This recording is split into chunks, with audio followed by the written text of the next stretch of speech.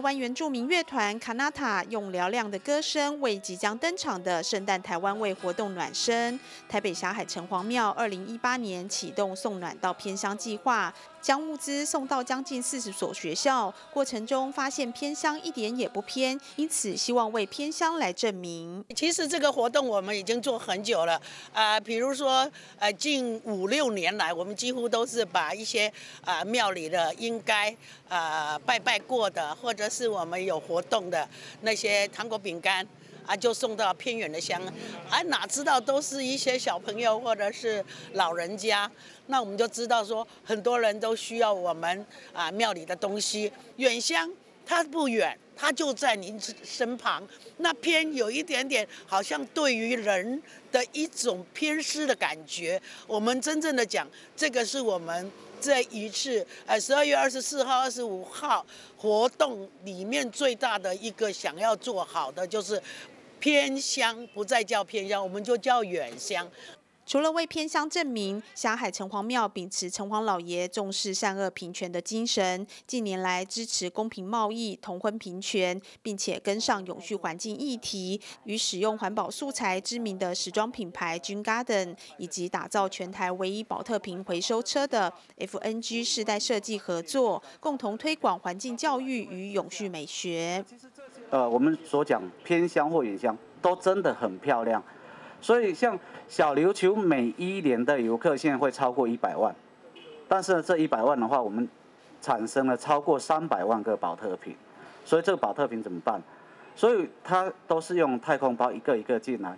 那我们的话是希望说，透过好归宿这个计划，我们可以开着车到每一个地方，不管是它是很近很远，它其实。每一件事情我们都可以离我们很近，比如说我们可以把保特瓶用什么一个方式可以去做回收。我们现在所看到的保特瓶的话，都是要用经过好几道的流程，但是每一个流程它都是一个碳排。那你如果我们现在讲台湾的保特瓶回收率的话，到九十五趴，但是没有在讲回收使用率的问题。那如果我们把回收使用率提高，那我们就是不是就可以做得更好？所以我们希望说，透过车的移动，可以到每一个角落。因为我在过去其实都是以就是呃永续时尚的概念在做我自己的品牌。那也因为响应了二零五零年的近零排放的这个议题，那所以呢，这个已经是当务之急，大家都必须要赶快马上去做的。所以这次在呃。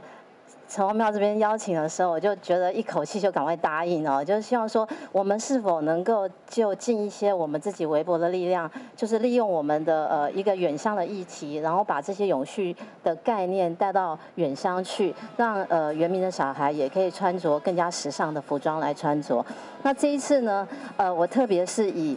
呃，主灵的眼睛，菱形就是泰雅族的一个主灵的眼睛，作为我的设计概念融入我的设计其中。那我希望说，能够让这些呃泰雅的这种像是象征生命意义的一些想法，能够在服装的概念里。所以呢，我就使用了宝特瓶的回收纱进行我的素材上的设计，然后也用主灵的眼睛在我的图图腾里面去做设计。这个城隍爷。我们翻为 City Guard，他就是一个长官，管理这个城市，所以他有权利让大家都平权，让大家都 peace。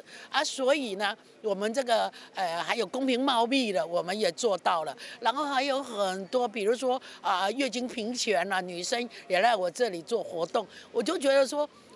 小海城隍庙要做的事非常的多，然后再讲到说，你既然要做远乡，当然有一些好的设计师，我们就跟他说，那我们未来如果呃那个学生要的制服，是不是有可以借您的手，借您的想法啊？结果他本身也是属于呃我们讲的说。原住民，所以他的想法就像呃祖灵的眼呐什么那种去设计，所以我这个觉得就特别美。然后还有一件比这些事情更大的，就是我们当年的产业现在变成我们的眼泪啊！我们就觉得原来我们当年没有去想好这个。保特瓶会造成的多少的伤害，或者这保特瓶会造成海洋的污染？这保特瓶有什么不好？然后我们把不好的东西怎么样呢？不是全部都不能用，我们是不是可以再使用？那再使用就先把它变成保特沙。这里有一部车子，我们就可以把它碾了，碾了以后是现场让。